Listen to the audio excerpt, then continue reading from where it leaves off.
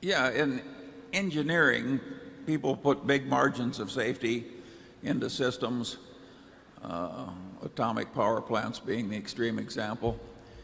And in the financial world and derivatives, it's as though nobody gave a damn about safety. And and they just let it balloon and balloon and balloon in usage and number of trades and size of trades. And uh, that ballooning is aided by this false accounting where people are pretending to make money they're not really making. I regard that as very dangerous.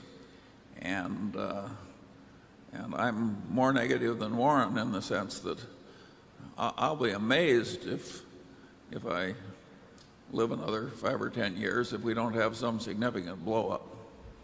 They've been advertised and sometimes by some in a fairly prominent way, they've been advertised as shedding risk for participants in the system uh, and reducing risk for the system.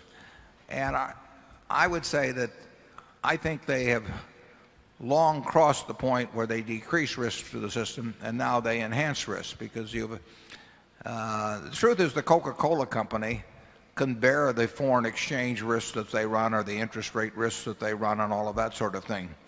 But when the Coca Cola Company starts laying those off and every other company in the world, major company does with just a relatively few players, you have now intensified the risks that exist in the system. Uh, you have not you have not shed risk at all. You have transferred it and you have transferred it to very few players and those players have huge interdependencies with each other.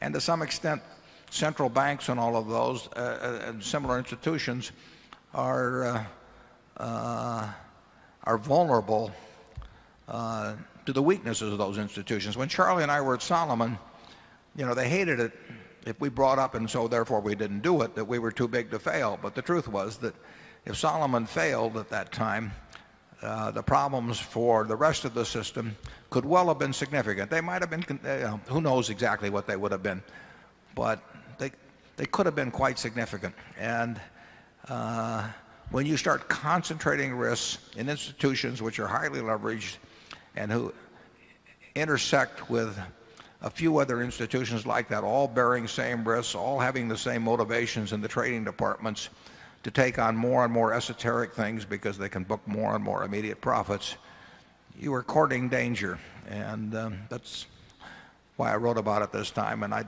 it's not a prediction, it's a warning. And um,